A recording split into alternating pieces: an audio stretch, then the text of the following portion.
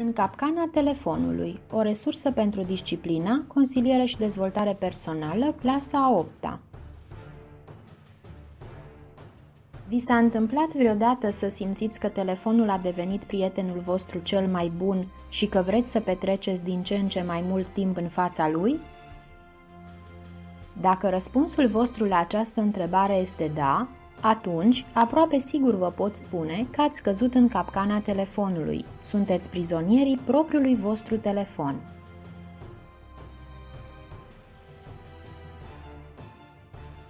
Convorbiri cu prietenii sau colegii, mesaje scrise prin intermediul diferitelor aplicații mobile, jocuri, muzică, fotografii, filme. Toate aceste facilități oferite de către telefoanele mobile pot deveni adevărate capcane pentru cei care nu știu cum sau nu pot controla timpul petrecut pe acest tip de dispozitiv, lăsându-se astfel prinși ca într-o cușcă în lumea aplicațiilor. Voi cât timp petreceți zilnic pe telefon? Răspunsul la această întrebare este la distanță de câteva clicuri. Intrați în setările telefonului vostru și verificați cât timp petreceți într-o zi folosind aplicațiile acestuia. Aveți posibilitatea de a verifica în acest fel de câte ori ați accesat fiecare aplicație, intervalul orar și cât timp ați folosit-o în total pe zi sau chiar pe săptămână. Ei bine, la ce concluzie ați ajuns?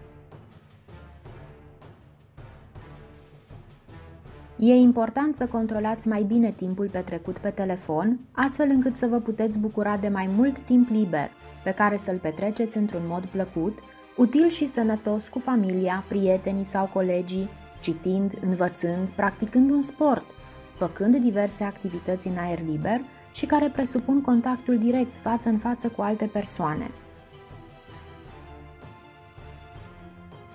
Împărțiți-vă în grupuri de câte patru colegi, puneți pe pauză această prezentare și urmăriți cu atenție filmul Like and Follow pe care îl puteți găsi pe YouTube la adresa afișată. Veți reveni la această prezentare după vizionarea filmului recomandat. Descrieți în câteva cuvinte relația dintre băiat și telefon. Prin ce modalități a fost băiatul ținut captiv de către telefon? Care pot fi pericolele captivității?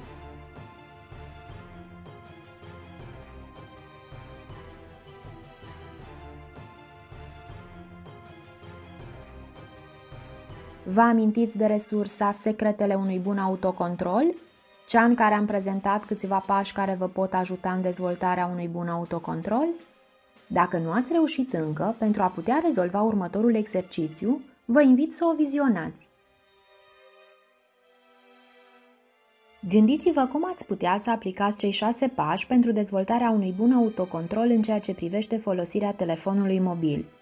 Discutați între voi și notați pe o foaie de hârtie răspunsurile pe care voi le considerați potrivite și credeți că ar funcționa în cazul vostru pentru a vă ajuta să reduceți timpul petrecut pe telefon.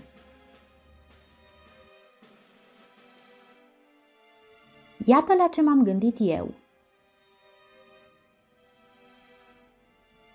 Voi ce răspunsuri ați scris? Prezentați-le colegilor și discutați pe marginea acestora, căutând cele mai potrivite, interesante și eficiente modalități de autocontrol, care considerați că vă pot ajuta să vă atingeți scopul de a petrece mai puțin timp pe telefon. În plus, identificați 10 activități preferate pe care să le realizați în timpul pe care altfel îl petreceați pe telefon. Notați în caiete răspunsurile și încercați să țineți cont de ele. Ai încredere că și tu poți să te eliberezi din capcana telefonului.